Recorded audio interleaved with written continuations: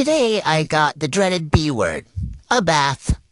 If you can't tell, this is definitely not my favorite thing. I tried to escape like six different times. This woman kept bringing me back in.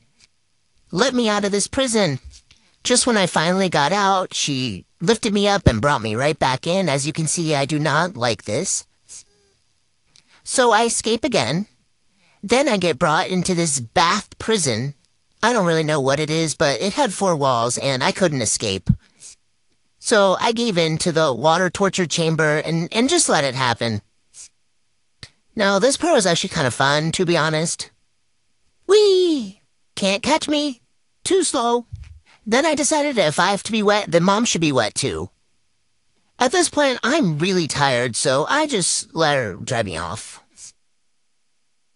That was very traumatic, so I'm gonna go poop in mom's shoe. Bye!